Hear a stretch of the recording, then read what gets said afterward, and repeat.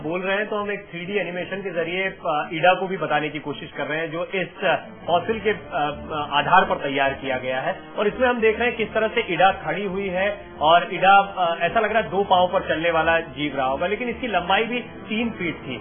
तो हम कैसे रहे होंगे इंसान? क्योंकि कई ऐसी कल्पनाएँ भी थी कि एक जमाने में इंसान बहुत लंबे चौड़े रहे होंगे बहुत ऊँचे ऊँचे रहे होंगे और ये उस थ्योरी को तो कम से कम झुटलाता है। नहीं अब मैं कुछ इस पे रोशनी डालना चाहूँगा। असल में जो प्राइमेट शुरू शुरू के प्राइमेट जिसके सम, जिस समूह के हम भी हैं जिस समूह में है प्राइमेट्स में शुरू में लेमुर करीब इतने छोटे छोटे लेमुर्स भी थे। You can imagine a lemur जिसका वज़न सिर्फ़ एक पाउंड रहा। ऐसा भी जिसका वज़न सबसे जो छोटा लेमुर है, उसका एक आउंस वज़न है लेमुर की भी कई प्रजातियाँ। अब ये ईदा कहाँ फिट होता है, ये मैं बताने के लिए आपको बताऊँ कि लेमुर जो सबसे पुराने प्राइमेट्स हैं, जिससे बाद में मानव लोग बने वो पेड़ों पर रहते थे। उनका, जैसा मैंने पहले बताया, उनका स्नाउट था, नाक और मुँह आगे की तरफ़, जैसे लोमड़ी के खिंचे होते खिंचे होते थे, उनकी सूंघने की शक्ति काफ़ी प्रबल थी। खाने की चीज़ों को आपस में एक दूसरे को पहचानने के लिए सूंघने की शक्ति का प्रयोग करते थे। अब उनके अंदर नाखून जरा कम थे। उनके अंदर चार पैर वाले थे वो।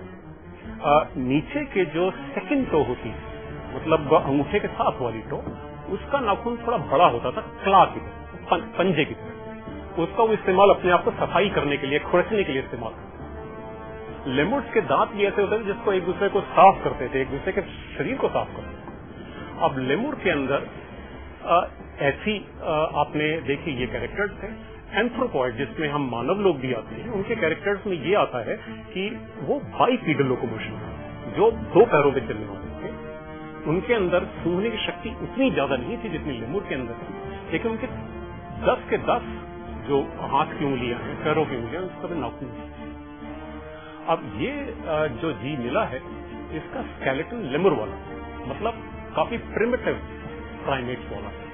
लेकिन इसके अंदर और जो कैरेक्टर्स हैं, वो एंथ्रोपॉइड रेस के हैं, जिसके मतलब ये है कि इसमें नाखून, सारी उंगलियों में होना। और फेस में जो टीथ वो कॉम लाइक ना होना। और लेग्स और आर्म्स दोनों लगभग एक साइज़ के होना, जो कि लेमुर से अलग है क्योंकि लेमुर में पैर जरा लंबे हैं। ये ऐसा दर्शाता है कि कड़ी है मानव जैसे जीवों की। और लेमुर जैसे जीवों तो इससे पहले ऐसी कोई कड़ी हमारे पास नहीं हीरा की शक्ल क्या रही होगी? वो एक डायनासोर की तरह दिखती होगी छिपकली की तरह दिखती होगी या एक बंदर की तरह एक वानर की तरह दिखती होगी लंगूर की तरह दिखती होगी? इस पर आप ज़ाहिर से आते अपने अपने इमेजिनेशन लगा रहे होंगे इस पर डॉक्टर शुक्ला से थोड़ी सी बातचीत करेंगे। और साथ ही साथ एक दिलचस्प जानकारी जो लगातार आप टेलीविज़न स्क्रीन पर देख भी पा रहे हैं कि उन्नीस सौ तिरासी में ही हासिल कर लिया था इडा को जिसके बारे में आज हम बात कर रहे हैं छब्बीस साल बाद। क्यों हुई देरी ये समझने में कि इडा आ, इस कड़ी का एक हिस्सा हो सकती है कड़ी हो सकती है मानव सभ्यता के विकास की। इस पर हम बातचीत करेंगे और साथ ही साथ इडा के बारे में आप ये भी ज़रूर जानना चाह रहे होंगे कि उसने क्या खाया होगा या क्या खाती होगी। तो आखिरी बार उसने क्या खाया था इसकी जानकारियाँ भी मिल पा रही हैं इडा के इस फॉसिल से। ऐसी तमाम दिलचस्प जानकारियों के साथ एक बार फिर लौटते हैं लेकिन छोटे से ब्रेक के बाद।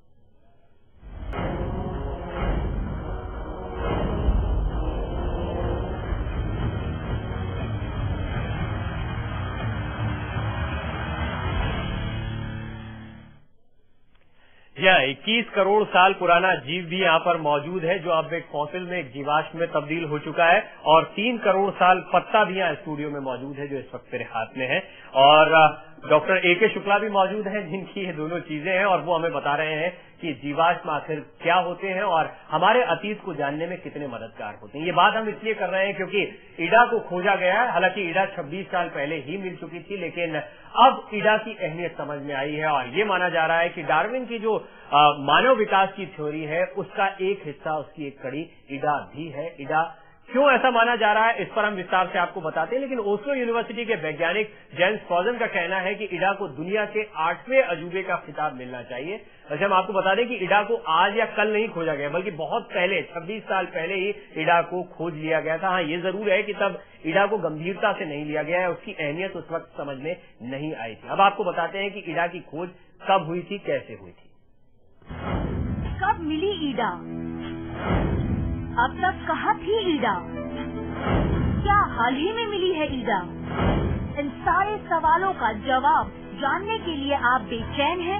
अगर हाँ तो आइए हम आपकी बेचैनी को दूर कर देते हैं। भले ही ईडा मानव विकास के रहस्यों को सुलझाने में मददगार साबित हो सकती है।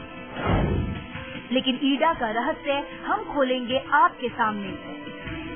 अगर आपको लगता है कि ईडा की खोज हाल ही में हुई है तो आप सरासर गलत हैं। क्योंकि ईडा तो करीब 26 साल पहले ही मिल गई थी। अब बताते हैं कि 26 साल पहले कहाँ मिली थी ईडा। ईडा की खोज जर्मनी में हुई थी। इस फॉसल को करीब उन्नीस में जर्मनी के फ्रैंकफर्ट के पास नेसलफ्रिट से खोजा गया था। लेकिन तब शायद ही किसी को मालूम था कि ईडा इस कदर मानव विकास के रहस्यों को सुलझाने की एक अहम कड़ी मानी जाएगी। इसलिए तब उसे हल्के में लिया गया और सिर्फ़ एक शोपीस की तरह दीवार पर टांग दिया गया। लेकिन 2006 में एक डीलर ने न्यूयॉर्क के ऑक्सफोर्ड यूनिवर्सिटी के नेचुरल हिस्ट्री म्यूज़ियम के डॉक्टर जॉन हुरम का ध्यान इस फॉसल की ओर दिलाया। फिर शुरू हुआ रिसर्च का सिलसिला। और करीब दो साल तक इस जीवाश्म पर वैज्ञानिकों ने कड़ी रिसर्च की। और दो साल की कड़ी रिसर्च के बाद जॉर्ज की टीम ने ईडा के बारे में इन सारी जानकारियों का खुलासा किया। स्पेशल डेस्क लाइव इंडिया सारे रहस्य और उनके जवाब यही मौजूद हैं। बस हम कैसे कैसे ढूंढ पाते हैं, उसका इंतज़ार रहता है, कैसे कैसे मानव पहुँच पाता है अपने अतीत तक और एक एक कर फिर खुलासे होते चले जाते हैं। ज़ाहिर सी बात है, इडा पहले भी मौजूद थी सालों पहले भी मौजूद रही होगी, कभी ज़िंदा भी रही होगी। उसके जीवाश्म को 26 साल पहले खोज लिया गया था और अब ये पता लग गया है कि वो मानव सभ्यता की कड़ी का एक हिस्सा हो सकती है। इस बारे में अब रिसर्च को आगे बढ़ाया जा रहा है। लेकिन जिसे ये जानकारी सबसे पहले मिली होगी, ज़ाहिर सी बात है, वो बहुत रोमांचित हुआ होगा, वो बहुत खुश हुआ होगा। आपको भी अगर ऐसा कोई जीवाश्म मिलेगा तो ज़ाहिर सी बात है, ये आपके लिए भी बहुत रोमांचकारी रहा होगा और ईडा के बारे में ओस्लो यूनिवर्सिटी के वैज्ञानिक जॉन हुरुम ने सबसे पहले परखा या जाना कि ये कितना महत्वपूर्ण है क्या अहमियत ईडा की उनका क्या कहना है इस मसले पर वो भी सुन लेते We are, of course, not stating that this is the, our direct ancestor. That's too much. Even it's debated when you go a few million years back. So this is, remember, this is seven, 47 million years ago. It's really, really hard to pinpoint exactly who gave rise to humans at that point. But this is as good as it gets, really. अभी जीवाश्म को जब doctor Shukla हम देख रहे हैं और जैसा जॉन हुरूम भी बता रहे हैं कि अभी इस पर रिसर्च करना एग्जैक्टली exactly नहीं कहा जा सकता है कि ये उस वो कड़ी रहे हैं कैसे हम माने या कौन सी चीज़ें हैं जो सिमिलर बनाती हैं? जैसा अभी आप बातचीत में बता रहे थे कि फर मिले हैं और ये जीवाश्म जो है वैसा नहीं है जैसा स्केलेटन या देखने में अभी लग रहा है कि सिर्फ़ हड्डियों का ढांचा होगा। बहुत सारी और जानकारियाँ और और भी चीज़ें मिली हैं इसके साथ। ईदा का जीवाश्म एक खास इस प्रकार से है कि पहली बार करीब 97 परसेंट कंजर्व रिमेन्स मिले हैं किसी जीव के।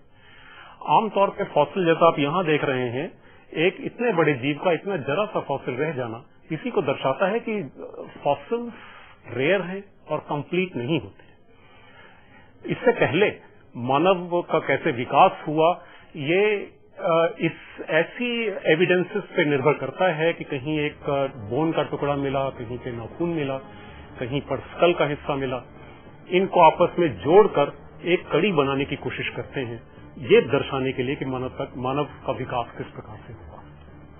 अब ईदा का जो जीवाश मिला है, इतना कंप्लीट है कि इनक्रेडिबल अब फॉसिल इतना इनक्रेडिबली कंप्लीट होना अपने आप में एक अजूबा तो है, क्योंकि फॉसिल्स हर जगह नहीं बन जाते। जीवाश्म बनने की एक खास प्रक्रिया होती है, खास वातावरण चाहिए उसके लिए। अब इसके जैसे बनने के लिए ये ज़रूरी है कि माइक्रोबियल डिके जो बैक्टीरिया से, फंजाई से धीरे धीरे डेड एनिमल को जो डिके करता है, उसको खत्म करता है, बहुत धीरे होना चाहिए। बहुत स्लो होना चाहिए। इतना स्लो होना चाहिए कि वो जैसे जैसे उसका ऑर्गेनिक पार्ट फंगस खाती रहती है, फफूंदी खाती रहती है बैक्टीरियम खाती रहती है उसका ऑर्गेनिक पार्ट रिप्लेस हो धीरे धीरे इनऑर्गेनिक मटेरियल